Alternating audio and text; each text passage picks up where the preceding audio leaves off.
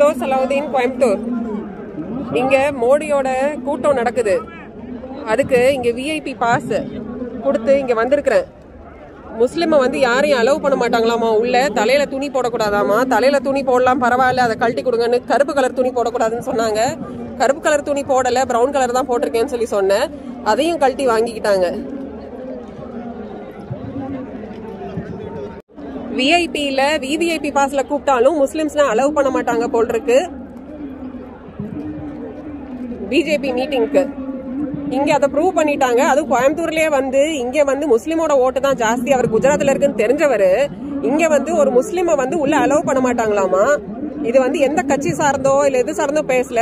பொதுவான ஒரு பப்ளிக்காக பேசுகிறேன் ஒரு லேடின்னு கூட பார்க்காம தலையில துணியா விடுங்க போட்டிருக்க ஷாலை வந்து தலையில போடக்கூடாது அதையும் எடுங்கன்னு சொல்லி சொல்றவங்க இங்க இருக்கிற லேடி போலீஸ்ல இருந்து எல்லாருமே இதுக்கு சப்போர்ட் பண்றாங்க.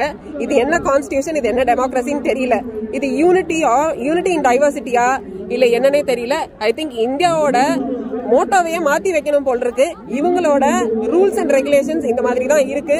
இதை தயவு செஞ்சு ஆப்போசிட் பார்ட்டி ஆகட்டும் இல்ல ரூலிங் பார்ட்டி ஆகட்டும் இது என்னன்னு பாருங்க. இந்த மாதிரி பண்றது வந்து மதம் ரிலேட்டடா பண்றது ரொம்ப பெரிய தப்பு. யூனிட்டி இன் டெமோக்ரஸின்னு பேர் வாங்கினது வந்து இந்தியா. அந்த பேரைய வந்து ரொம்ப அசிங்கப்படுத்துறீங்க ரொம்ப ரொம்ப கேவலப்படுத்துறீங்க இது ரொம்ப ரொம்ப அசிங்கம். ஒரு பார்ட்டி அப்படிங்கறது வந்து it is for the people by the people and of the people but இங்க வந்து ஃபார் த பீப்புள் இல்ல. It is only for the religion அது ரொம்ப நல்லா தெரிவிச்சிட்டீங்க.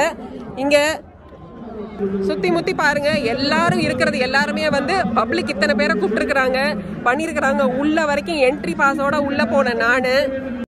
என்ட்ரி பாஸோட உள்ள போன நானு.